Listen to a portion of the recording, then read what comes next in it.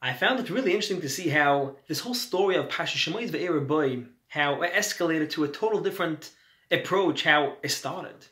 The way it started was very simple. Pari said, too many Jewish people, let's make an end of this Jewish population. What did he do? Make them work hard so they won't be able to reproduce.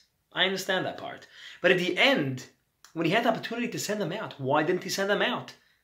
Why hold them hostage and then suffer from it? Send them out. You don't like them anyways. The answer is very simple. When a person is selfish, they are blind. They only see themselves. They don't care about anyone else around them. And then they suffer from it.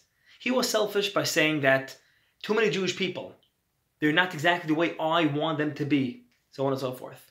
So now he suffers with his blindness, and he, he, he kept on putting himself in this big, huge hole of selfishness by suffering more and more. Let's stop this with a smile.